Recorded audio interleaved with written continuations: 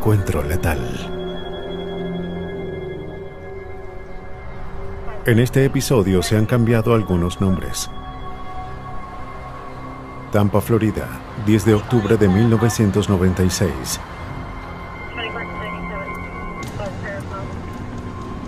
10-4, 10-51, El detective Robert Parrish recibe Estaré una allí en terrible dos minutos llamada. aproximadamente.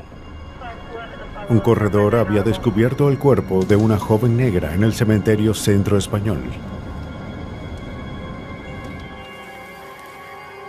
Los investigadores acuden a la escena.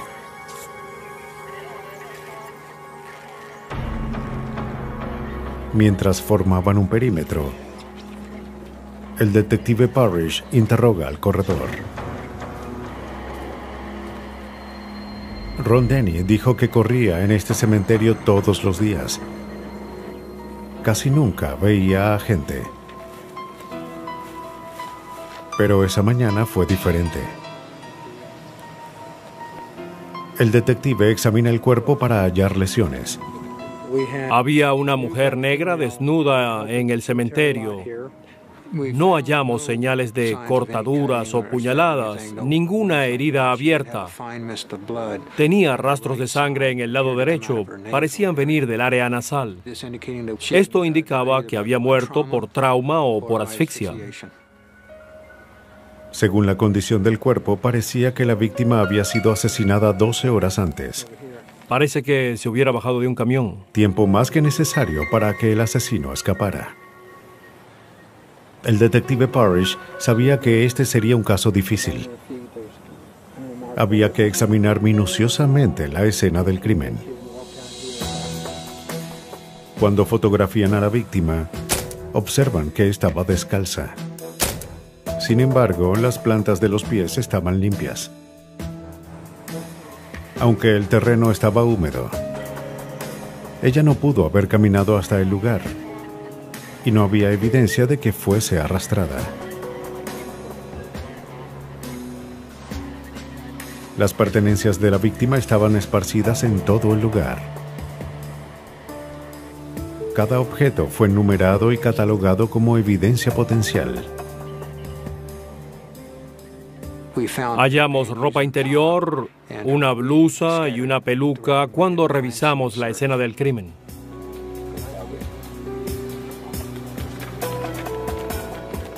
El equipo forense halla un par de zapatos de mujer.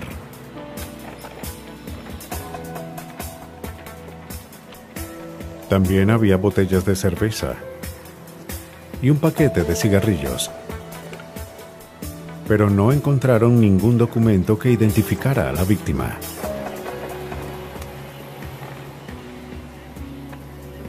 Cerca del cuerpo hallan marcas recientes de neumáticos. El detective sospechaba que la víctima había sido asesinada en otro lugar y dejada en el cementerio.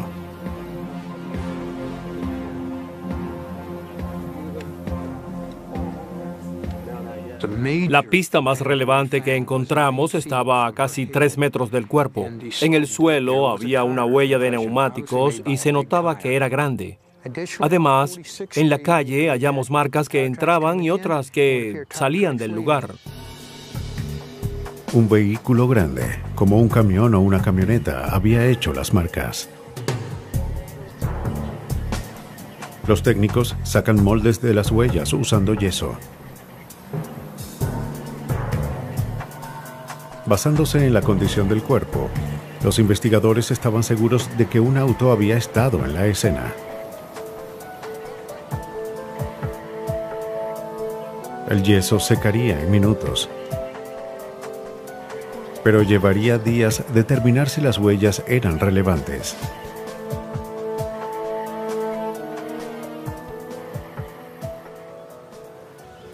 Después de revisar la escena, los oficiales van al vecindario, esperando que alguien hubiese visto u oído algo la noche anterior. ¿Cuándo fue la última vez que habló con ella? No estoy Nadie dice segura, no tengo idea. ¿Está segura? En la autopsia, el forense observa una petequia, una hemorragia en los ojos de la víctima. Esto, además de unas heridas halladas en el cuello y la garganta, indicaban que la víctima había muerto asfixiada.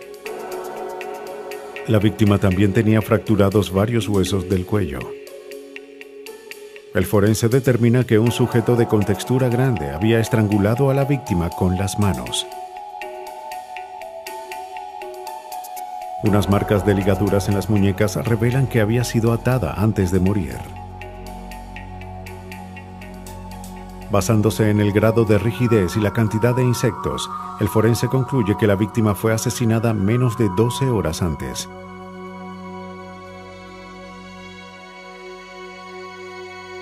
Se recogen muestras de cabello de la víctima. En caso de que encontraran a un sospechoso, buscarían hebras del cabello en su vehículo. Identificar a la víctima era el próximo paso. Se toman huellas dactilares que se comparan con la base de datos de Tampa.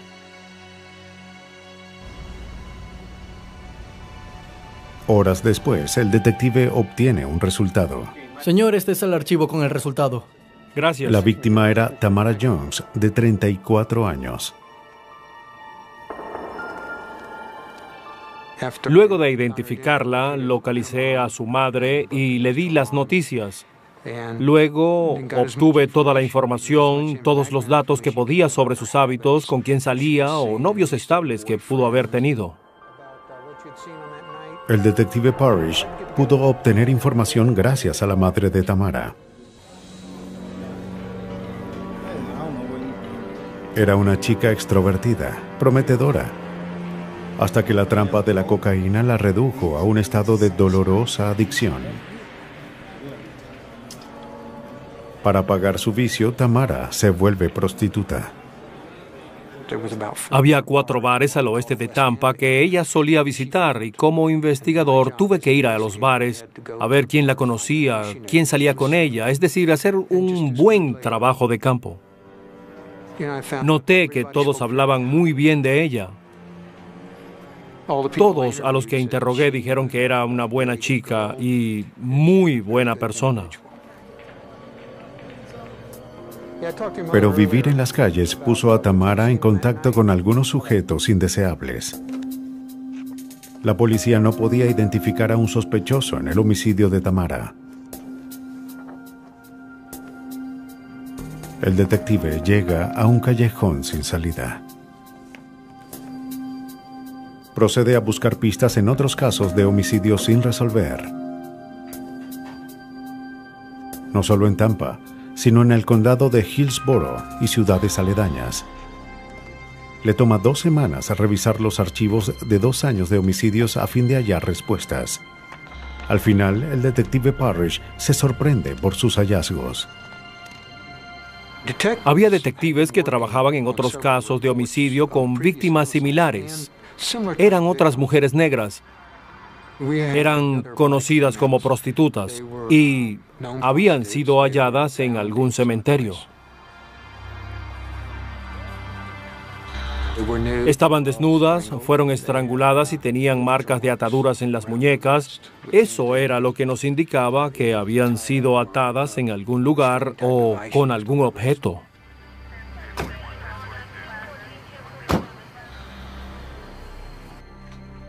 Los detectives del Departamento de Policía de Tampa y el Departamento del Condado de Hillsborough unen fuerzas. Junto con otras agencias en el área, forman un equipo para encontrar y detener al asesino. Pero la falta de evidencia física en las escenas del crimen y el estilo de vida de las víctimas hacían que fuesen casos difíciles de resolver. El detective Parrish estaba seguro de que se trataba de un asesino en serie. Alguien acechaba víctimas en Tampa y podría atacar en cualquier momento. La policía no tenía ninguna pista para su identificación.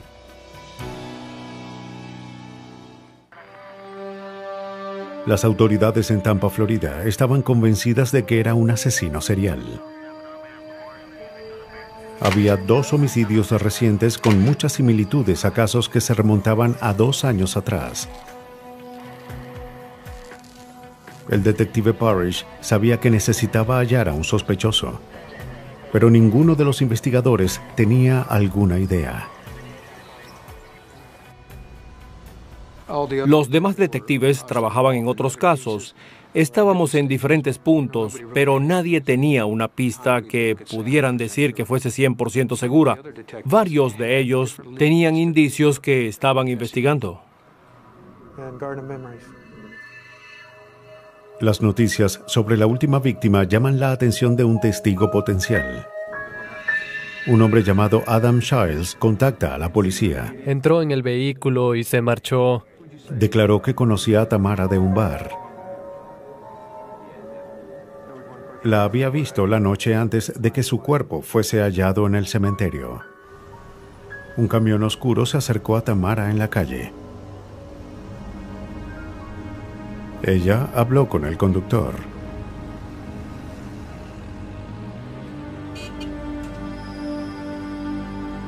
Childs había visto el vehículo en la zona, pero no sabía de quién era. Para los investigadores era un buen indicio. Revisan una vez más los archivos.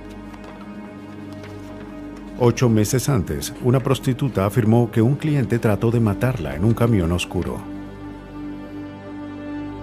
La mujer tenía miedo de presentar cargos, pero aceptó hablar con la policía sobre el incidente. ¿Puedes decirme qué fue lo que ocurrió dentro del camión?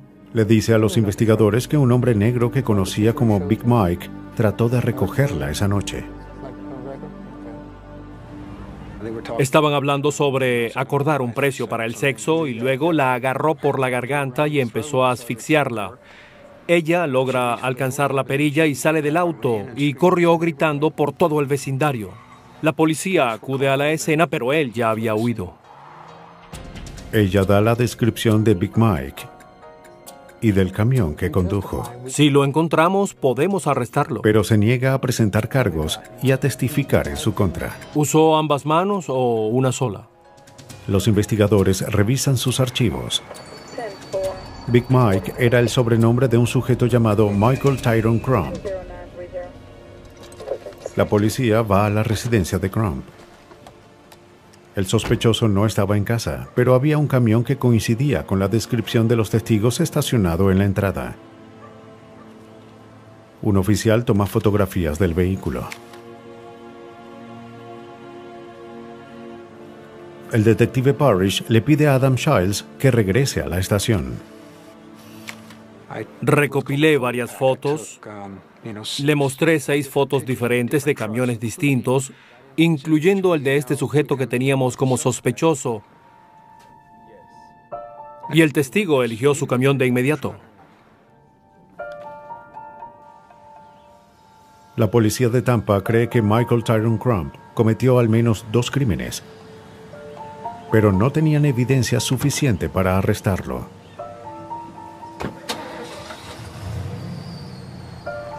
Bien muchachos, ya salió. Con las declaraciones de dos testigos, tenían suficiente evidencia de que los asesinatos fueron cometidos en su camión. La policía tiene la autoridad para incautar un vehículo si se cree que fue usado para actividades ilegales o si tiene evidencia de esos crímenes.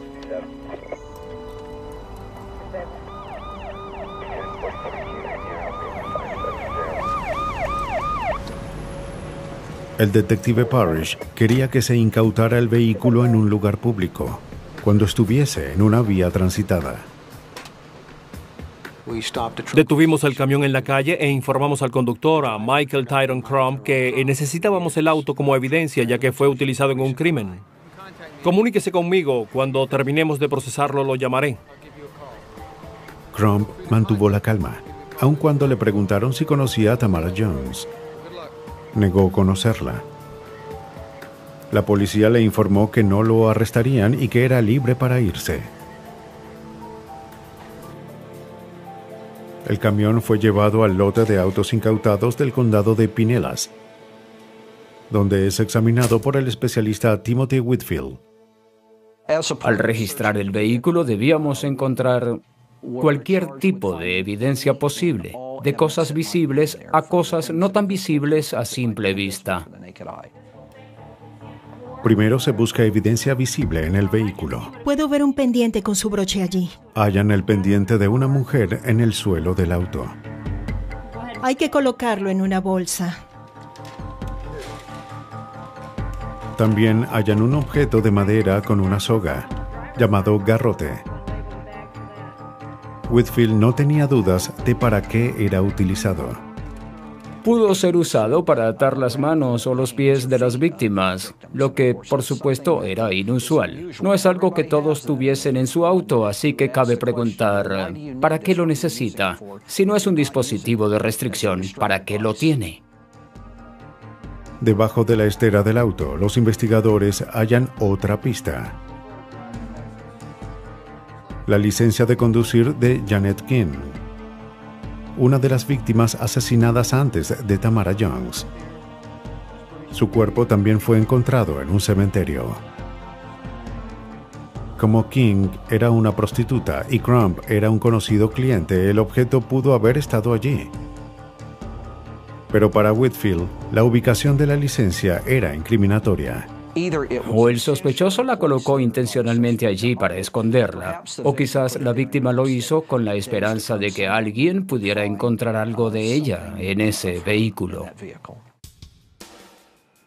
Luego el equipo se enfocó en hallar evidencia invisible a plena vista.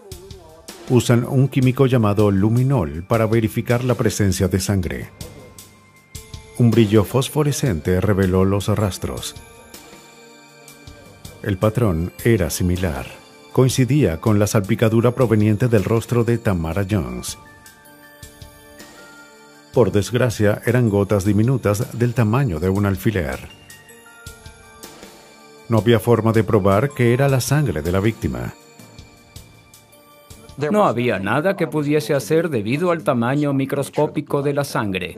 Por supuesto, eso fue antes de las pruebas de ADN y se necesitaba más sangre para hacer un análisis.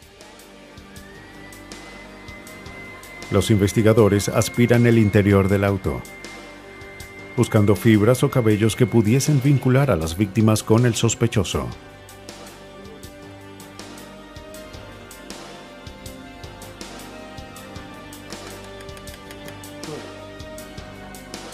Un hallazgo interesante fue un cuchillo de hoja larga, oculto detrás del asiento delantero del auto. Esto se parece mucho a un machete, es de gran tamaño, con una buena superficie.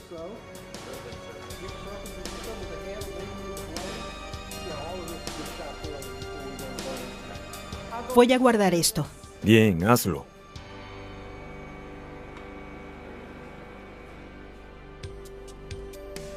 En el laboratorio, los forenses determinan que la cuerda del garrote era del mismo diámetro que las marcas por ataduras halladas en las muñecas de las víctimas. Una de las pruebas más importantes quizás hallada fue una hebra larga de cabello, que no podía ser del sospechoso. Un análisis demostró que no era una hebra caída. Había sido arrancada del cuero cabelludo. La hebra es comparada con las muestras tomadas de Tamara Jones. El color y textura no coincidían. Sin embargo, cuando se compara con el cabello de Janet King, sí coincidió. Ambas habían sido pintadas con el mismo tinte. Los forenses estaban seguros de que venían de la misma persona,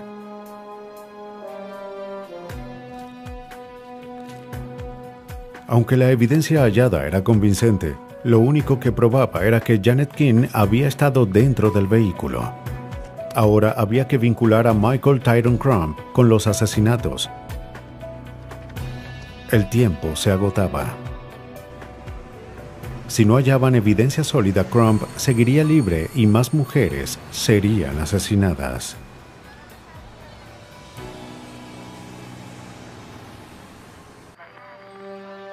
Las autoridades de Tampa, Florida, estaban seguras de que se enfrentaban a un asesino serial. Dos homicidios recientes tenían similitudes sorprendentes a una serie de crímenes cometidos más de dos años antes. El detective Robert Parrish debía vincular el asesinato de Tamara Jones con el auto del sospechoso Michael Crump. Su mejor pista eran las marcas dejadas en la escena. envió los moldes tomados en la escena del crimen junto con los neumáticos al Departamento de Policía de Florida. Allí, el analista Oral Woods observa las marcas a fin de ver si el camión de Crump hizo las huellas halladas cerca del cuerpo de Tamara Jones. Woods estaba sorprendido ya que el auto de Crump tenía tres tipos diferentes de llantas. Las dos delanteras tenían diseños parecidos, mientras que las de la parte trasera eran diferentes. Dos de los diseños de los neumáticos de Crump coincidían con los moldes tomados en la escena del crimen. Le dije al detective Parrish que estábamos muy cerca, que la evidencia podría ser útil, ya que no solo los moldes tenían características generales, sino también características individuales. Las características generales como el tamaño y el diseño de la llanta podían indicar un fabricante en específico. Al comparar las fotografías, Woods determina que las marcas de neumáticos en la escena tenían las mismas características generales que los del auto de Crump. Luego buscó las características individuales de los neumáticos, como incisiones, desgaste o piedras incrustadas que puedan convertir el diseño de una llanta en algo tan único como una huella dactilar. El analista halló lo que necesitaba. Había una parte del neumático que tenía cortes e incisiones que también encontré en el molde de yeso hecho en la escena. Y fui más allá. Entonces hice un molde de esa área y observé las mismas características individuales. Woods confirmó que las marcas de neumático halladas en la escena provenían de una rueda trasera del auto. El 7 de febrero, Michael Crump fue al Departamento de Policía de Tampa para buscar su auto. Pero primero el detective Parrish tenía unas preguntas importantes que hacerle. Como el por qué había aparecido muerta una mujer con la que estuvo el día anterior. Y por qué las huellas de neumáticos de su auto fueron halladas cerca del cuerpo. Una vez más, Crump negó conocer a Tamara Jones afirmó que había trabajado en el lugar y que tomó un atajo por el cementerio esa noche. Le mostraré algo que encontramos en su camión. ¿Lo ve? Era su licencia y la hallamos. Cuando el detective le muestra la licencia de conducir de Janet King, Crump se sorprende y siente que había sido atrapado. Era un hombre fornido y solo bajó los hombros y luego la mirada lo que me indicó que con la licencia, el mostrarle la licencia lo había afectado. Crump admite haber recogido a Tamara Jones esa noche. Afirma que discutieron y que Tamara trató de apuñalarlo. Confiesa haberla estrangulado, pero jura que fue en defensa propia. Para el detective, la versión de Crump no explicaba por qué usó el garrote y dejó marcas de ataduras en las muñecas de la víctima. La evidencia apuntaba a un modus operandi que Crump había usado antes. Analizamos los neumáticos. Los detectives pasan a interrogar a Crump sobre el asesinato de Janet King. Él admite haberla recogido una vez, pero afirma que ella se marchó minutos después. Declara no saber nada sobre las otras siete víctimas. Los oficiales no le creen. Todo indicaba que como las otras mujeres murieron de forma similar, él estuvo involucrado en lo sucedido. Pudimos vincularlo un 100% a dos homicidios similares, pero no teníamos suficiente evidencia para vincularlo a los otros.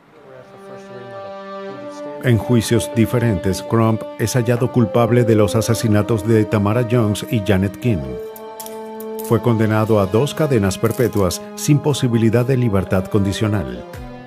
Los otros casos siguen sin resolver. Michael Tyrone Crump atacaba a mujeres que elegía al azar en las calles